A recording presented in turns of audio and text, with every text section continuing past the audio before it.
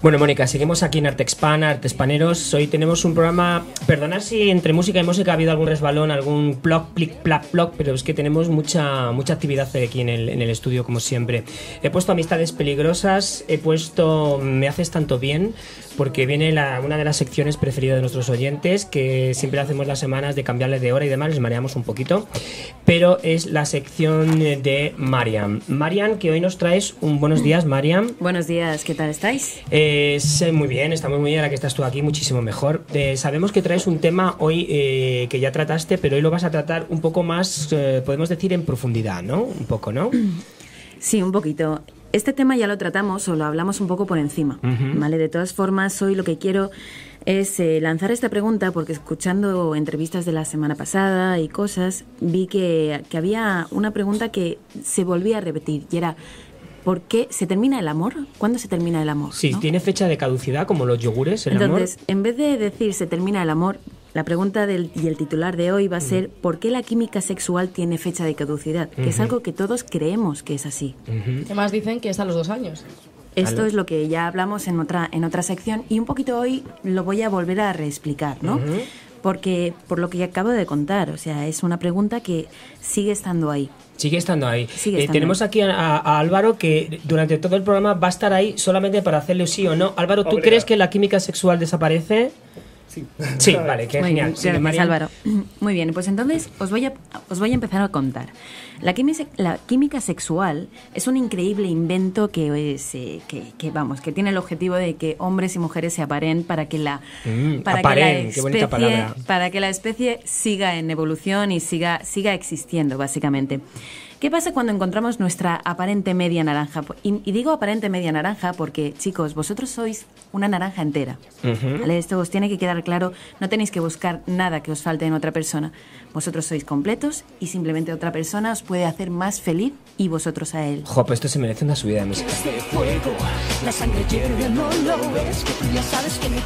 Bueno, me encanta esto de que yo soy una naranja entera, sobre todo tú que me has traído de Valencia esta semana naranjas, sí, porque os tengo que decir que María siempre que va a Valencia me trae naranjas y mandarinas y yo se lo agradezco mogollón. Pues ahora que todos sabemos que tú eres una naranja entera, Álvaro, sí o no, ¿Podría ser un limón? También, también, me encanta. No, soy Me valenciana, encanta. chicos, jugamos con naranjas. eso es. Y, mm, Así que, siguiendo un poquito con esto, eh, cuando encontramos nuestra media naranja, eh, existen tres factores que se despiertan en nosotros. Los factores psicológicos, los emocionales y los fisiológicos.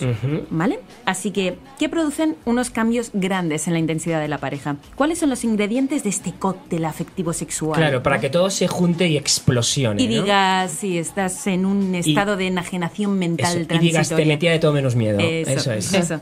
¿Qué es lo que pasa? Bueno, mira, los- lo primero es que el factor psicológico que existe y en el que nos despierta esta emoción es la novedad. Es la novedad de la otra persona, es el juguete nuevo cuando éramos, cuando somos pequeños. O sea, es lo que más te gusta, te gusta jugar con, con- con lo nuevo. Incluso cuando somos mayores nos pasa.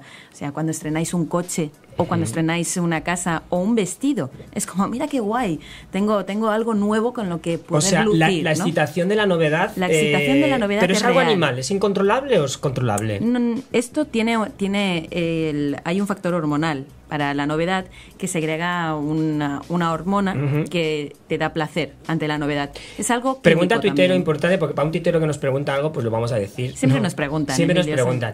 Eh, ¿Funciona esto igual que las mujeres con el hombre, este factor novedad? sí, o sea, sí, la, la mujer siente por Es- igual es- o es más en los hombres o, es o algo, viceversa. es algo del ser humano. Es- o sea, que va intrínseco. Exacto, esto es una condición humana el- en, el, en el hecho de conseguir cosas nuevas, ¿no?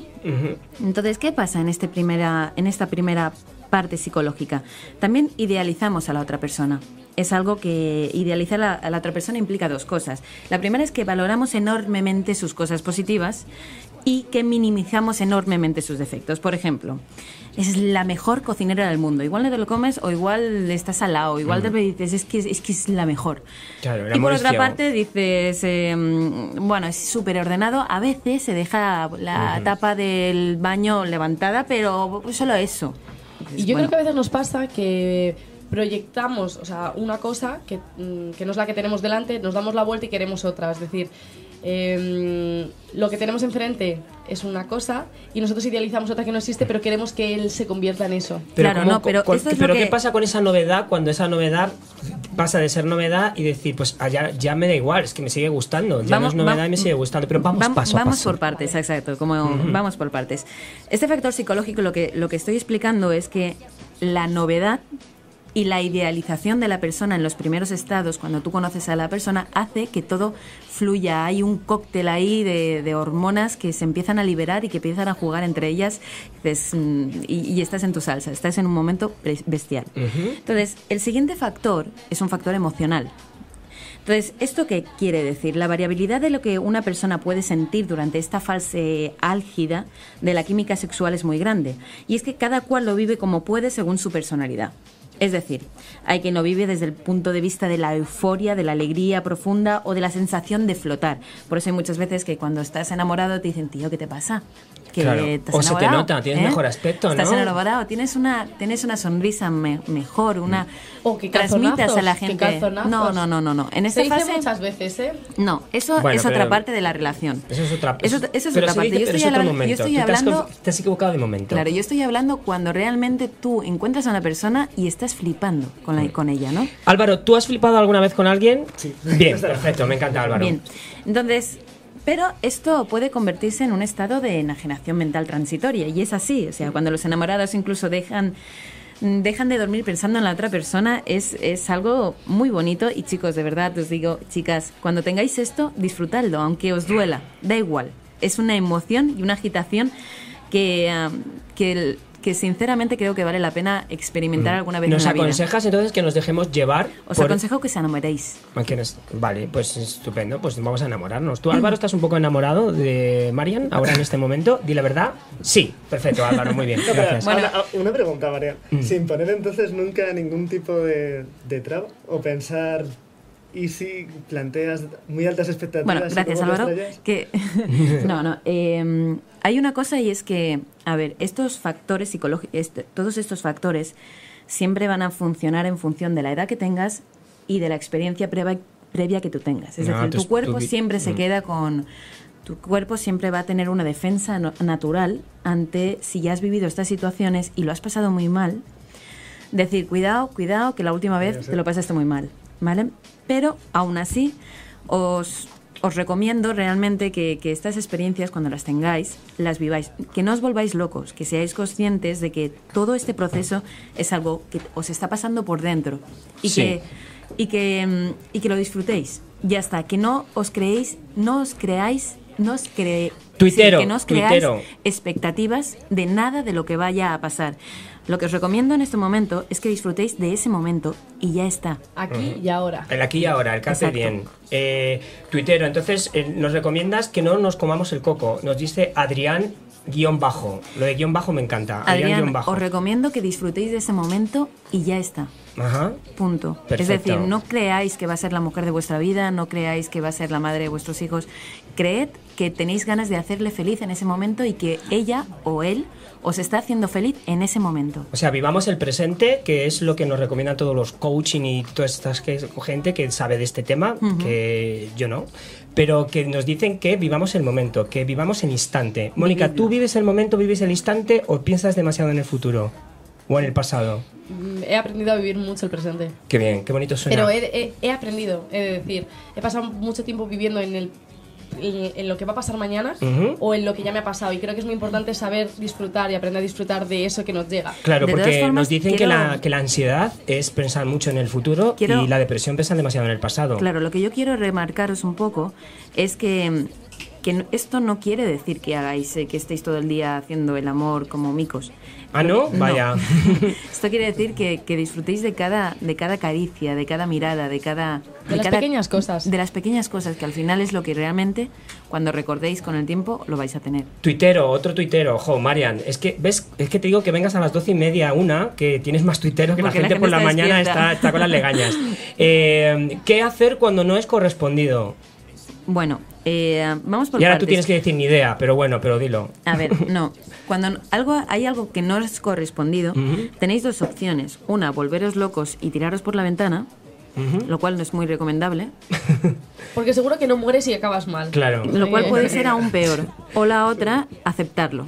Aceptarlo. Aceptarlo. Eh, chicos, cada persona que se cruce en vuestra vida os va a enseñar algo. Si hay una persona de la cual os enamoráis locamente, pero no os corresponde de la misma forma que vosotros, no pasa nada. Quiero decir, esa persona ya os está dando un regalo. Bueno, subamos la música en esto, por favor. Qué bonito, qué bonito, Marian. Es bueno, duro. acabamos, nos Eh, quedan, nos quedan tres minutitos, ¿eh? Vale. Todavía, Esto pero. he de decir el, para el tuitero este que no es fácil. Y dices, sí, claro, es que es muy fácil decirlo, pero después yo la veo y me muero por dentro. Mm. O sea, si tú eres consciente de que te estás muriendo por esa persona por dentro cuando la ves, dices, qué bonito que una persona pueda hacer moverme tanto por dentro. Yo le quería decir eso, que se sienta feliz porque si no creció en, el corazón de la otra persona, sí que creció en el suyo. Os voy a decir una cosa, hoy estamos teniendo un programa súper como sentimental, ¿no? O sea, ante la, la escritora que ha venido que nos ha encantado la entrevista y demás, y ahora el momento este de Marian, si tiene el amor fecha de caducidad, que esta es la parte así como del corazón del programa, que, que- entonces definitivamente Marian, para acabar... Nos falta aún la eh, tercera parte. Vente con esa tercera parte y te vamos a hacer la gran pregunta, se la vamos a hacer a Álvaro, que es como el, el- el hombre comodín que tenemos aquí. Eh, al final nos tienes que contestar definitivamente si el amor tiene fecha de caducidad o no. Vamos con esa tercera parte. La tercera parte que es el factor fisiológico. Es decir, hemos pasado... O sea, la química pura y dura, ¿no? Mm, sí, Más o la menos, química ¿no? pura y dura. ¿Dónde están las hormonas? ¿no? Hemos pasado por el factor psicológico, emocional y ahora el fisiológico. Entonces, em, claro, esa es la parte química pura y dura. Las hormonas juegan un papel importantísimo en todo, la- en todo el aspecto de la química sexual. ¿Y esto qué pasa? Pues que la testosterona, la oxitocina, la dopamina, la endorfina inundan la sangre desde el durante todo el principio y estamos, estamos colocados. Quiero Ajá. decir, es, un, Es es- una estamos droga legal. colocados de forma natural. Por eso, el tuitero disfruta ese colocón que llevas, aunque sea aunque sea de un- durante un tiempo pequeño, porque, porque ese mismo contacto físico, esa mirada cuando tú ves a esa persona, te despierta una, un cóctel hormonal dentro que hace que, que- que flipes. Bueno. Entonces, esto es lo que pasa y es por qué el momento de enajenación mental transitoria de, de estar enamorado es real, ¿no? Y es por estos tres factores. Y ahora, sigamos un poquito. Sí, Marian, pero ¿tiene fecha de caducidad? Esto es, decir, esto es, esto sí, es. ¿Cuándo se va? ¿Se va? Vale. Esto ya lo dijimos en algún programa y es que sí es verdad que después de... Los tuiteros están diciendo que sí. Vale, ahora O sea, yo os digo, chicos, o- o tenemos- o tenemos una mañana Me poco voy a quedar cinco romántica. minutos más como, como me volváis Venga. a ir. Vale. Tras un periodo de uno a tres años, eh, sí que es verdad que este mecanismo psicofísico emocional disminuye bastante. Ajá, vale. vaya. Entonces, la, quimi- la química sexual, igual que la pólvora arde, Qué bonito esto. se apaga poco a poco. Ajá. Vale. ¿Ves, Ahora, Álvaro? ¿qué pasa? Esperad un momento, esperad un momento, Ujú. porque no he terminado.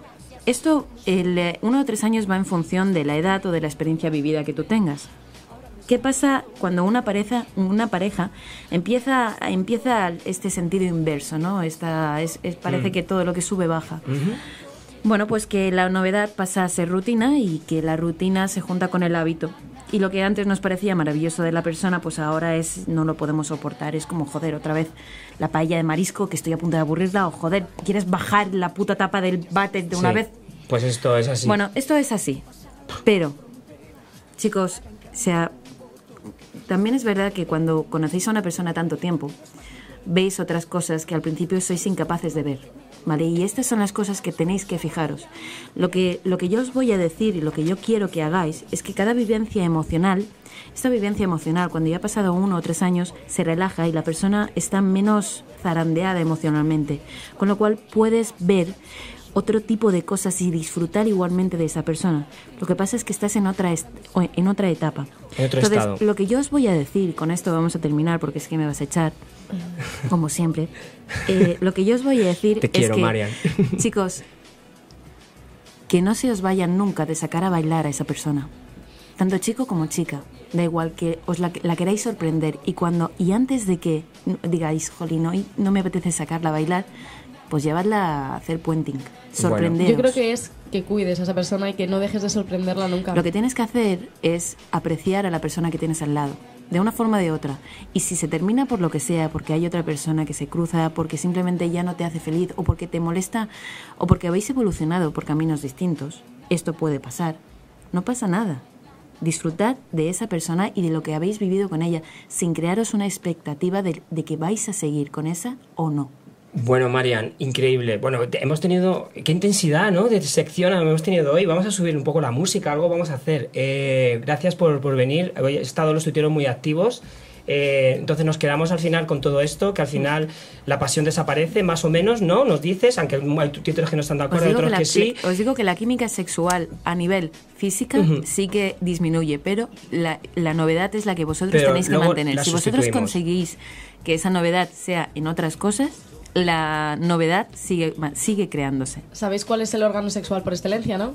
¿Cuál? La cabeza. O sea, Muy que bien. todo, chicos, está. Bueno, sí, el cerebro, pero que todo está. que Bueno, decir, cabeza. pues es que nada. todo está en la cabeza, o sea que. Pues despedimos, Marian. Muchísimas gracias por venir como cada semana. Eh, luego de, de Marian vamos a poner una cancioncita y viene una crack, porque yo- tú sabes, eh, eh, Mónica, que yo no traigo cómicos, como es, que yo traigo... Comicazos. Yo traigo comicazos. En este caso tenemos una comicaza. Chicos, Es yo, yo he de decir Fernández que la, vi hace dos, hace dos viernes. Y, y Muy bien, muy bien. me encanta. Por eso la traigo. Entonces, eh, ya tuiteros, si queréis preguntarle cosas a Pepa Fernández, pues ya lo podéis ir haciendo. Vamos a poner una cancioncita y vamos con ella. Hasta ahora, Mariam.